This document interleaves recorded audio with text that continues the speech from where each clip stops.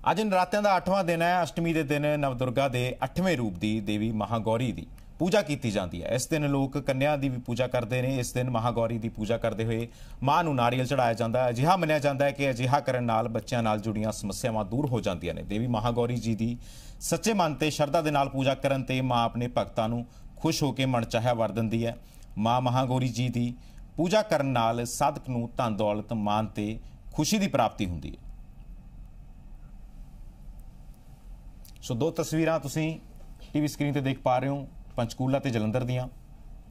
ਜਿੱਥੇ ਮੰਦਰਾਂ ਦੇ ਵਿੱਚ ਭੀੜ ਉਮੜ ਰਹੀ ਹੈ, ਉੱਥੇ ਹੀ ਪੂਜਾ ਕੀਤੀ ਜਾ ਰਹੀ ਹੈ ਮਾਤਾ ਦੀ।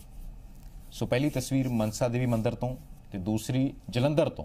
ਸੋ ਨਰਾਤਿਆਂ ਦਾ ਅੱਜ 8ਵਾਂ ਦਿਨ ਹੈ। ਦੱਸ ਦਈਏ ਕਿ ਵੱਖ-ਵੱਖ ਦਿਨ ਮਾਤਾ ਦੀਆਂ ਪੂਜਾ ਕੀਤੀਆਂ ਜਾਂਦੀਆਂ ਨੇ। ਸੋ ਅੱਜ ਅਸ਼ਟਮੀ ਹੈ, ਇਸੇ ਤਹਿਤ ਪੂਜਾ ਕੀਤੀ ਜਾ ਰਹੀ ਹੈ। ਸੋ ਮਨਸਾ ਦੇ ਵੀ ਤੁਸੀਂ ਦੇਖ ਪਾ ਰਹੇ ਹੋ ਕਿ ਜਿੱਥੇ ਭਗਤਾਂ ਦੀ ਭੀੜ ਉਮੜ ਰਹੀ ਹੈ ਉੱਥੇ ਹੀ ਦੂਸਰੇ ਪਾਸੇ ਦੇਵੀ ਤਲਾ ਮੰਦਿਰ ਜਲੰਧਰ ਤੋਂ ਤੁਸੀਂ ਦੇਖ ਸਕਦੇ ਹੋ ਕਿ ਤਸਵੀਰਾਂ।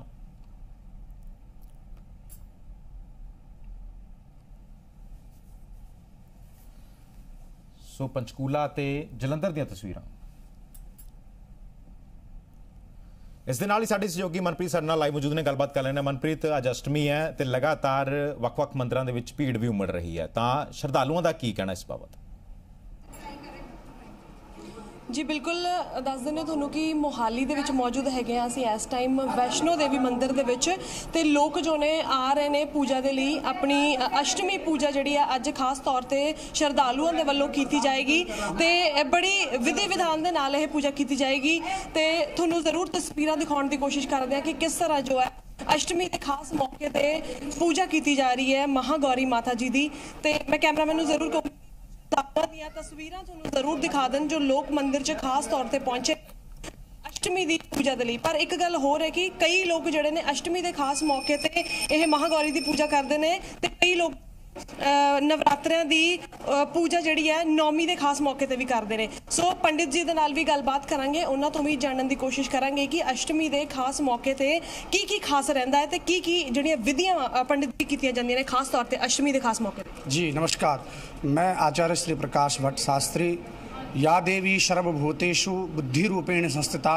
नमस्तस्ये नमस्तस्ये नमस्तस्ये नमो नमः आज जो है प्रथमे शैलपुत्रे च द्वितीयं ब्रह्मचारिणी, तृतीयं चंद्रघंटेति कुष्मांड चतुर्थकम पंचमं स्कंदमातेति षष्ठम कातेन च, और सप्तमम कालरात्रि चे महागौरी च चाष्टमम आज जो है, महागौरी का दिन है, और महागौरी जो है, ये बाल रूप में इनका पूजन किया जाता है, और जो आठ वर्ष के इनकी अवस्था है, और जो व्यक्ति महागौरी का पूजन करता है, यानी बालिकाओं का पूजन करता है पहली प्रथम वर्ष से लेकर के और नौ वर्ष पर्यंत तक जो व्यक्ति कन्या कंचकाओं का पूजन करता है।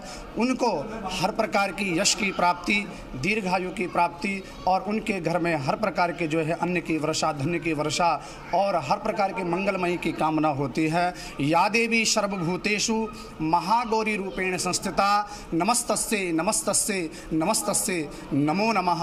और हमारे मंदिर में यहाँ पर जो है प्रत्येक दिन, यानी पहले नवरात्र से लेकर के और नौवीं पर्यंत तक जो है 108 ज्योत के साथ जो है, दिव्य और भव्य जो है, आरती से संपन्न होती है। और इसमें जो है तरह तरह के बड़े दूर दूर से जो है, लोग आते हैं और दर्शन करते हैं और माँ गौरी का जो है और माँ वैष्णवी देवी का जो है, वो आशीर्वाद प्राप्त करते हैं। तो मैं भी हम उन तमाम दर्शकों को हार्दिक दिल से जो है, कृतज्ञ प्रकट करता हूँ। उनका बहुत बहुत धन्यवाद देता हूँ, जो आते हैं और माँ का आशीर्वाद लेकर के यहाँ से खुशियाँ भर करके अपने घर को जाते हैं। तो आप लोगों का भी बहुत बहुत धन्यवाद जो है।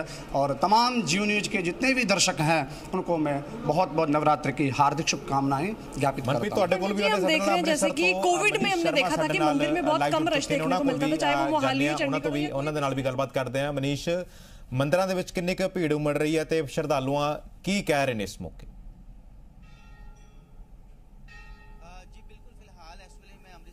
ਅੰਮ੍ਰਿਤਸਰ ਮੰਦਿਰ 'ਚ ਖੜਾ ਉੱਥੋਂ ਦਾ ਸੀਤਲਾ ਮਾਤਾ ਮੰਦਿਰ ਹੈ ਜਿਹੜਾ ਕਾਫੀ ਸੈਂਕੜੋ ਸਾਲ ਪੁਰਾਣਾ ਹੈ। ਤੁਸੀਂ ਤਸਵੀਰਾਂ ਰਾਹੀਂ ਦਿਖਾਵਾਂਗੇ ਕਿ ਕਿਸ ਤਰ੍ਹਾਂ ਸਵੇਰ ਤੋਂ ਹੀ ਜਿਹੜੇ ਨੇ ਸ਼ਰਧਾਲੂ ਅ, ਤੜਕਸਾਰ ਤੋਂ ਹੀ ਜਿਹੜੇ ਨੇ ਮੰਦਿਰ 'ਚ ਦਰਸ਼ਨਾਂ ਵਾਸਤੇ ਪਹੁੰਚਣੇ ਸ਼ੁਰੂ ਹੋ ਗਏ ਸੀ। ਸੀਤਲਾ ਮਾਤਾ ਮੰਦਿਰ ਜਿਹੜਾ ਇਹਦੀ ਕਾਫੀ ਮਾਨਤਾ ਹੈ ਇੱਥੋਂ ਦੇ ਵਿੱਚ। ਇਹ ਇੱਥੇ ਸ਼ਰਧਾਲੂ ਮਾਰਨਿੰਗ ਤੋਂ ਹੀ ਪਹੁੰਚਣੇ ਸ਼ੁਰੂ ਹੋ ਗਏ ਸੀ ਇੱਥੇ ਮੱਥਾ ਟੇਕਦੇ ਪਏ ਨੇ। ਖਾਸ ਕਰਕੇ ਉਹ ਸ਼ਰਧਾਲੂ ਕਿਉਂਕਿ ਅੱਜ ਜੋਤਾਂ ਦਾ ਵੀ ਦਿਨ ਹੈ ਅੱਜ ਕੰਜਕਾਂ ਦਾ ਕੰਜਕ ਪੂਜਨ ਹੈ ਅਸ਼ਟਮੀ ਹੈ। ਤੇ ਅੱਜ ਕਈ ਲੋਕ ਜਿਹੜੇ ਨੇ ਅਸ਼ਟ- ਕੰਜਕ ਪੂਜਨ ਕਰਨਗੇ। ਕਈ ਲੋਕ ਨੌਮੀ ਨੂੰ ਕਰਦੇ ਨੇ। ਲੇਕਿਨ ਜਿਨ੍ਹਾਂ ਨੇ ਅੱਜ ਤੁਸੀਂ ਦੇਖੋਗੇ ਕਿ ਵਰਤ ਰੱਖੇ ਸੀ, ਅੱਜ ਉਹਨਾਂ ਦਾ ਵਰਤ ਜਿਹੜਾ ਉਹ ਮੋਕਸ਼ ਹੋਏਗਾ। ਜਿਹੜੀ ਤੁਸੀਂ ਤਸਵੀਰਾਂ ਰਾਹੀਂ ਦੇਖੋਗੇ ਕਿ ਸ਼ਰਧਾਲੂ ਲਗਾਤਾਰ ਜਿਹੜੇ ਨੇ ਇੱਥੇ ਦਰਸ਼ਨਾਂ ਵਾਸਤੇ ਜਿਹੜੇ ਨੇ ਪਹੁੰਚਦੇ ਪਏ ਨੇ। ਦੁਰਗਿਆਨਾ ਮੰਦਿਰ ਵੱਲੋਂ ਜਿਹੜੇ ਨੇ ਪ੍ਰਬੰਧ ਕੀਤੇ ਗਏ ਨੇ, ਖਾਸ ਪ੍ਰਬੰਧ ਕੀਤੇ ਗਏ ਨੇ ਤਾਂ ਕਿ ਨਾ ਤੇ ਸ਼ਰਧਾਲੂਆਂ ਨੂੰ ਦਿੱਕਤ ਆਵੇ। ਲੇਕਿਨ ਖਾਸ ਗੱਲ ਇਹ ਹੈ ਕਿ ਕੋਵਿਡ ਜਦੋਂ ਹੈਗਾ ਸੀ ਉਸ ਤੋਂ ਬਾਅਦ ਜਦੋਂ ਹੁਣ ਕੋਵਿਡ ਦੇ ਸਾਰੇ ਜਿਹੜੇ ਨੇ ਨਿਯਮ ਖਤਮ ਕਰ ਦਿੱਤੇ ਗਏ ਨੇ ਉਸ ਤੋਂ ਬਾਅਦ ਸ਼ਰਧਾਲੂ ਜਿਹੜੇ ਨੇ ਇੱਥੇ ਕਾਫੀ ਉਤਸ਼ਾਹ ਦੇਖਣ ਨੂੰ ਮਿਲ ਰਿਹਾ ਲੋਕਾਂ ਦੇ ਵਿੱਚ ਸ਼ਰਧਾਲੂਆਂ ਵਿੱਚ ਕਾਫੀ ਉਤਸ਼ਾਹ ਦੇਖਣ ਨੂੰ ਮਿਲ ਰਿਹਾ ਸੀਤਲਾ ਮਾਤਾ ਮੰਦਿਰ ਦੇ ਨਾਲ ਨਾਲ ਹੋਰ ਅੰਮ੍ਰਿਤਸਰ ਦੇ ਜਿੰਨੇ ਵੀ ਮੰਦਿਰ ਨੇ ਲੋਂਗਾਵਾਲੀ ਦੇਵੀ ਜਾਂ ਮਾਡਲ ਟਾਊਨ ਮੰਦਿਰ ਉੱਥੇ ਵੀ ਕਾਫੀ ਭੀੜ ਜੀ ਹੋ ਸਕੇ। ਤਾਂ ਸ਼ਰਧਾਲੂਆਂ ਦੇ ਨਾਲ ਜ਼ਰੂਰ ਗੱਲਬਾਤ ਕਰੋ ਕਿਉਂਕਿ ਨਰਾਤੇ ਚੱਲ ਰਹੇ ਨੇ ਤਾਂ ਸ਼ਰਧਾਲੂਆਂ ਦਾ ਇਸ ਮੌਕੇ ਕੀ ਕਹਿਣਾ ਹੈ ਕਿ ਮੰਦਿਰਾਂ ਦੇ ਵਿੱਚ ਪਹੁੰਚ ਰਹੇ ਨੇ ਉਹ ਕਿਉਂਕਿ ਕਰੋਨਾ ਤੋਂ ਬਾਅਦ ਲੰਮੇ ਅਰਸੇ ਤੋਂ ਬਾਅਦ ਜੋ ਹੈ ਦਰਬਾਰ ਖੁੱਲੇ ਨੇ ਤੇ ਲੋਕ ਹੁਣ ਮੰਦਿਰਾਂ ਦੇ ਵਿੱਚ ਨਤਮਸਤਕ ਹੋ ਰਹੇ ਨੇ ਅ, ਜੀ ਬਿਲਕੁਲ ਹਾਂ, ਅ, ਆਪਾਂ ਉਸਕੋ ਹਰ- ਸ਼ਰਧਾਲੂਆਂ ਨਾਲ ਜ਼ਰੂਰ ਗੱਲ ਕਰਨ ਦੀ ਕੋਸ਼ਿਸ਼ ਕਰਾਂਗੇ ਕਿਉਂਕਿ ਤੁਸੀਂ ਦੇਖੋਗੇ ਕਿ ਇੱਥੇ ਅ, ਕਈ ਅੰਮ੍ਰਿਤਸਰ ਇੱਕ ਟੂਰਿਸਟ ਹੱਬ ਵੀ ਹੈ ਟੂਰਿਸਟ ਵੀ ਇੱਥੇ ਪਹੁੰਚਦੇ ਨੇ ਉਹ ਲੋਕ ਜਿਹੜੇ ਅ, ਆਪਣੇ ਘਰਾਂ 'ਚ ਨਹੀਂ ਲੇਕਿਨ ਅੱਜ ਮੱਥਾ ਟੇਕਣ ਪਹੁੰਚੇ ਨੇ ਅੱਜ ਇਹ ਜੋਤਾਂ ਦਾ ਦਿਨ ਵੀ ਹੈ ਅਸ਼ਟਮੀ ਦਾ ਅੱਜ ਦਿਨ ਹੈ ਕਿਸ ਤਰ੍ਹਾਂ ਸਾਨੂੰ ਅੱਜ ਅਸੀਂ ਬੜਾ ਖੁਸ਼ ਹੈ ਮਾਤਾ ਦੇ ਦਰਬਾਰ ਆ ਕੇ, ਕਿਉਂਕਿ ਅੱਜ ਅਸ਼ਟਮੀ ਹੈ, ਅੱਜ ਮਾਤਾ ਦਾ ਦਿਨ ਹੈ। ਕੰਜਕਾਂ ਨੂੰ ਪੂਜ ਕੇ ਮਾਤਾ ਦਾ ਪ੍ਰਗਟਿਆ ਹੋਰ ਤੁਸੀਂ ਦੇਖੋਗੇ ਕਿ ਆਪਾਂ ਇੱਥੋਂ ਦੇ ਜਿਹੜੇ ਪੁਜਾਰੀ ਨੇ ਉਹਨਾਂ ਨਾਲ ਵੀ ਗੱਲ ਕਰਨ ਦੀ ਕੋਸ਼ਿਸ਼ ਕਰਨੇ ਆ ਕਿ ਕਿਸ ਤਰ੍ਹਾਂ ਇੱਥੇ ਲੋਕ ਜਿਹੜੇ ਨੇ ਕਿਉਂਕਿ ਤੁਹਾਨੂੰ ਦੱਸਿਆ ਮੈਂ ਪਹਿਲੇ ਕਿਉਂਕਿ ਇਹ ਟੂਰਿਸਟ ਹੱਬ ਵੀ ਹੈ, ਲੋਕ ਜਿਹੜੇ ਟੂਰਿਸਟ ਨੂੰ ਵੀ ਇੱਥੇ ਪਹੁੰਚ ਰਹੇ ਨੇ। ਤੁਸੀਂ ਦੇਖੋਗੇ ਕਿ ਇੱਥੇ ਕੱਚੀ ਲੱਸੀ ਜਿਹੜੀ ਆ ਉਹ ਚੜਾ ਰਹੇ ਨੇ, ਇੱਥੋਂ ਹੀ ਜਿਹੜਾ ਛੱਟਾ ਦਿੱਤਾ ਜਾਂਦਾ ਅੱਗੇ। ਲਗਾਤਾਰ ਇੱਥੇ ਜਿਹੜੇ ਨੇ ਸ਼ਰਧਾਲੂ ਪਹੁੰਚ ਰਹੇ, ਉਹਨਾਂ ਨਾਲ ਵੀ ਗੱਲ ਕਰਾਂ। ਅੱਜ ਤੁਸੀਂ ਇੱਥੇ ਅੱਜ ਅਸ਼ਟਮੀ ਪੂਜਨ ਹੈ ਥੋੜਾ ਜਿਹਾ ਦੱਸੋ ਕਿ ਅੱਜ ਜਿਸ ਤਰ੍ਹਾਂ ਤੁਸੀਂ ਗੱਲ ਕਰ ਰਹੇ प्राचीन मंदिर शीतला मंदिर का माना जाता है। 800 वर्ष। वैसे तो इसको जब इसका निर्माण हुआ था तो इसको 700 वर्ष लिखा हुआ था। तो वैसे तो 800 वर्ष हो गया इस मंदिर को। बाहर माँ शीतला जी का जो प्रागट्य रूप है, पिंडी के रूप में है, जो कि स्वयंभू है, स्वयं प्रगट है। माता शीतला यहाँ पे प्रकट हुई थी, उन्होंने दर्शन दिया था। उसी प्रकार अंदर में माँ सरस्वती, माँ लक्ष्मी में दुर्गा जी का स्वरूप और माँ काली जी का स्वरूप है। जैसे कि वैष्णो दरबार में माँ जी की तीनों पिंडी सब रूप है, वैसे ही यहाँ पे माँ जी की जो पत्थर के रूप में, एक प्रतिमा के रूप में वहाँ पे विराजित है माता जी और बाहर माँ शीतला का पिंडी स्वरूप दर्शन है। और लोग भगत आते हैं, माँ शीतला जी का जो स्वभाव है, अंदर की गर्मी को शांत करना, जिनको चेचक रोग हो जाता है, उनकी शांति के लिए और सुख समृद्धि के लिए माँ शीतला के दर पे आते हैं, उनको लस्सी का जो दूध और लस्सी चढ़ाते हैं ताकि हमें शीतलता बनी रहे घर परिवार में भी ही और सारे संसार में इसी प्रकार माँ के एक, एक हाथ में झाड़ू है एक हाथ में ਠੀਕ ਹੈ ਮਨੀਸ਼ ਅ, ਤੁਸੀਂ ਵੀ ਸਾਡੇ ਨਾਲ ਜ- ਜੁੜੇ ਰਹੋ ਤੇ ਸਾਡੇ ਨਾਲ ਸਮੀਖਿਆ ਰਾਣਾ ਦੀ ਭੂਮੀ ਤੋਂ ਸਾਡੇ ਨਾਲ ਜੁੜੇ ਨੇ ਗੱਲਬਾਤ ਕਰਾਂਗੇ ਸਮੀਖਿਆ ਅੱਜ ਅਸ਼ਟਮੀ ਹੈ ਤੇ ਭਗਤ ਲਗਾਤਾਰ ਮੰਦਰਾਂ ਦੇ ਵਿੱਚ ਪਹੁੰਚ ਰਹੇ ਨੇ ਤੇ ਕੀ ਕਹਿਣਾ ਕਿ ਕਰੋਨਾ ਦੇ ਲੰਮੇ ਅਰਸੇ ਤੋਂ ਬਾਅਦ ਜਿਸ ਹਿਸਾਬ ਦੇ ਨਾਲ ਕਰੋਨਾ ਦੀ ਪਾਬੰਦੀਆਂ ਲੱਗੀਆਂ ਤਾਂ ਹੁਣ ਸਭ ਕੁਝ ਖੁੱਲਿਆ ਤੇ ਭਗਤ ਕੀ ਕਹਿ ਰਹੇ ਨੇ ਹੁਣ ਕਿ ਗੁਰੂ ਘਰ ਜਿੱਥੇ ਨਤਮਸਤਕ ਹੋ ਰਹੇ ਨੇ, ਉੱਥੇ ਮੰਦਰਾਂ ਦੇ ਵਿੱਚ ਵੀ ਨਰਾਤਿਆਂ ਦੌਰਾਨ ਭੀੜ ਉਮੜ ਰਹੀ ਹੈ ਭਗਤਾਂ ਦੀ। बिल्कुल देखिए, कोरोना के काफ़ी लंबे समय के बाद पाबंदियों में कहीं ना कहीं ढील मिली है तो कहीं श्रद्धालुओं में भी उत्साह जो है वो पूरा देखने को मिल रहा है और आज अष्टमी का दिन है और आज के दिन को कन्या पूजन भी किया जाता है और ये भी कहा जाता है कि जितने भी दिन लोग व्रत रखते हैं, आज जो है उस व्रत का समापन जो है वो करते हैं और तस्वीरें आपको कालीबाड़ी मंदिर से दिखा रहे हैं। श्रद्धालु सुबह से ही आ रहे हैं और इनसे भी बातचीत करने का प्रयास करेंगे। मैम आज अष्टमी है, आज माता का शीश नवाने के लिए आए हैं क्या कहना चाहेंगे? जी बहुत अच्छा लगा हमें मंदिर कोरोना के काफ़ी लंबे समय बाद मंदिर खुले हैं। अच्छा लगा। अच्छा लग रहा है। हाँ मंदिर में आते हैं। क्या कुछ मनोकामनाएँ आपकी पूरी होती हैं? कौन सी ऐसी श्रद्धाएँ जिनको आप लेके आते हैं? अभी तो एक ही मनोकामना हमारा है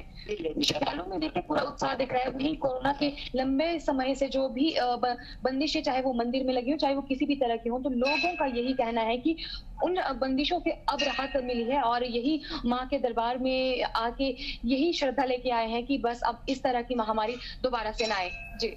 ਠੀਕ ਹੈ ਸਮੀਖਿਆ ਤੇ ਸਾਡੇ ਨਾਲ ਮਨਪ੍ਰੀਤ ਖੁੱਲਰ ਵੀ ਜੁੜੇ ਹੋਏ ਨੇ ਉਹਨਾਂ ਕੋਲ ਵੀ ਸਿੱਧਾ ਜਾਵਾਂਗੇ। ਮਨਪ੍ਰੀਤ ਅ, ਮਨਸਾ ਦੇਵੀ ਮੰਦਿਰ 'ਚ ਖੜੇ ਹੋ ਤੁਸੀਂ ਇਤਿਹਾਸਕ ਮੰਦਿਰ ਹੈ ਤਾਂ ਕੀ ਕਹਿ ਰਹੇ ਨੇ ਇੱਥੇ ਦੇ ਸ਼ਰਧਾਲੂ ਤੇ ਇੱਥੇ ਦੇ ਪੰਡਤ ਕਿ ਕਿਵੇਂ ਪੂਜਾ ਕੀਤੀ ਜਾ ਰਹੀ ਹੈ? ਤੇ ਥੋੜਾ ਜਿਹਾ ਦਰਸ਼ਕਾਂ ਨੂੰ ਵੀ ਇਸ ਬਾਬਤ ਜਾਣਕਾਰੀ ਦਿਓ।